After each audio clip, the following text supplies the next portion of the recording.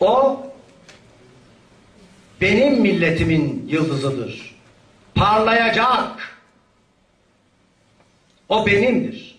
O benim milletimindir ancak. Bir milletten bahsediliyor. Sadece